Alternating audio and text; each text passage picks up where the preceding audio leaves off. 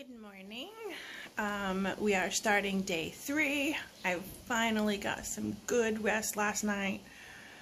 You know, the first night before I left, I only got like five hours, and then last, the night before, I got like six hours of sleep, and so last night I actually got like 10 hours, so I'm all caught up on sleep.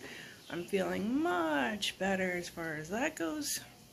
And um, having some breakfast on the patio with a beautiful view of mango trees.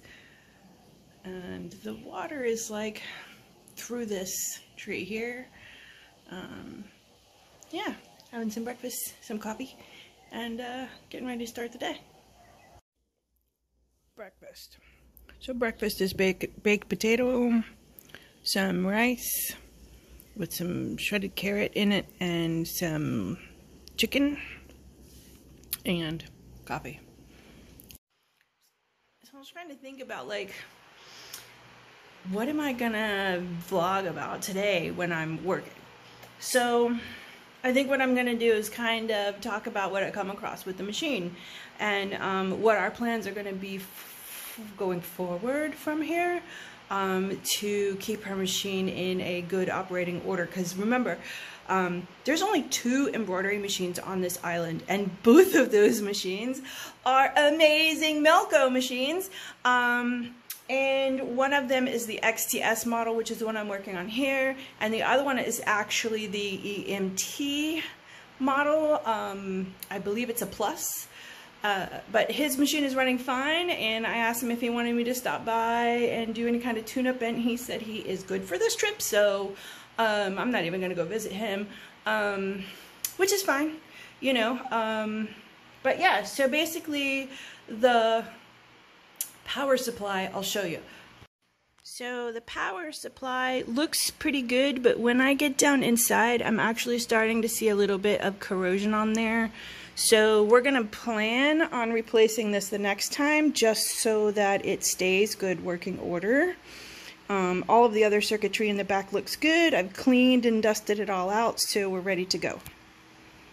So circuit board looks absolutely beautiful on this machine and what she actually told me was about two years ago she was having a problem with the machine.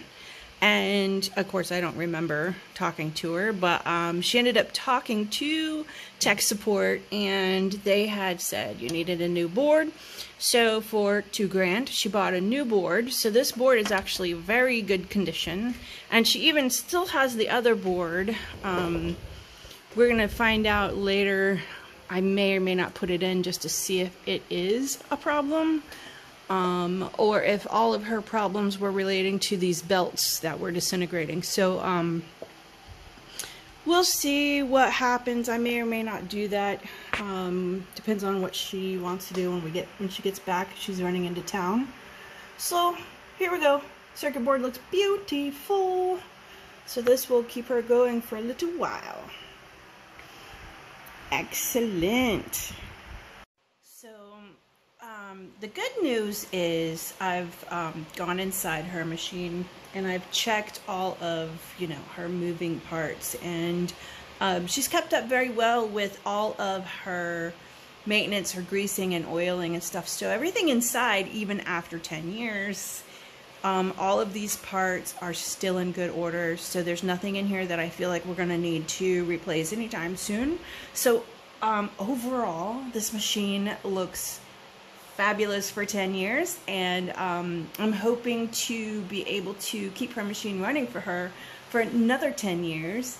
Um, I was just thinking while I was, you know, mindlessly greasing stuff and, you know, going through things and I was like, how amazing that Montserrat is dominated by Melco embroidery machines and um, not that that's a big thing, but it is kind of cool to know that an entire island and or country is um, operated by just two embroidery machines. Um, I also found out that the population here, you know, the island used to be pretty big and it had about 10,000 uh, people on the island. And then when the volcano erupted, and I forgot what year that was, um, and the big major city was completely um, wiped out and buried under the lava flow, uh, the population instantly dropped to about 5,000. Um, half the people just left for other islands, other opportunities, um, so that they could have a place to live for one and uh, businesses. So the, the population was pretty steady around five to 6,000 because there are people who have a lot of homes here that come half the year from like Canada and stuff. And um, she had said that recently because of COVID, as soon as travel restrictions were raised, they lost at least half of their nurses. Um, and a lot of people just left for um, employment opportunities um, other places. And so the population on the island has actually dropped to about 4200 on average.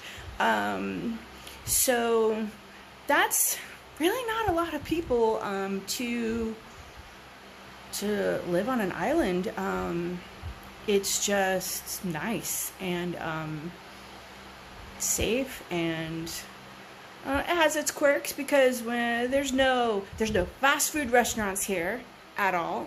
There are restaurants um, slash bars, um, and there are some restaurants per se where basically it's somebody who's put a couple of tables in their living room and you're eating basically whatever the uh, lady of the house decides to cook that day. So um, that's a pretty interesting experience. Uh, so I I just love the island, and um, this is where you'll find me when I retire and disappear from the states because it's slow here. It's just not crowded, not busy. There's like one cruise ship that comes here, and it can't even port because there's no cruise terminal.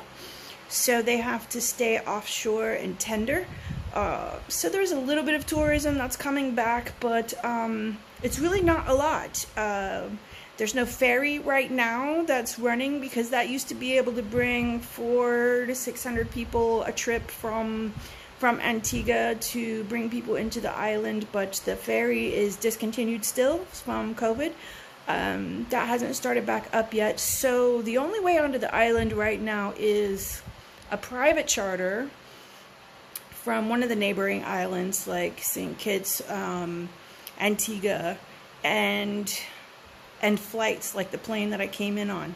And you're not going to get a lot of tourism when seven people at a time are coming in.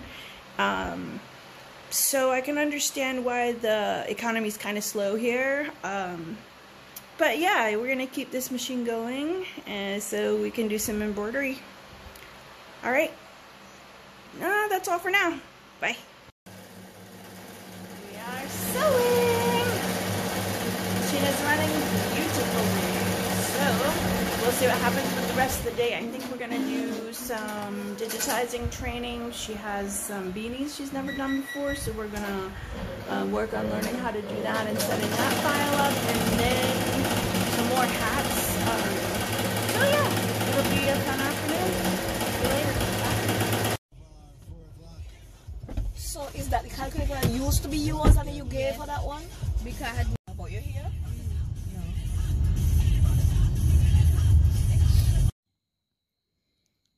No. so I just wanted to get a little bit of this beautiful sunset that's going on. Unfortunately, it's like right behind the tree and I can't quite find a good place to uh, get a good view of it, but it's amazing and pretty anyways.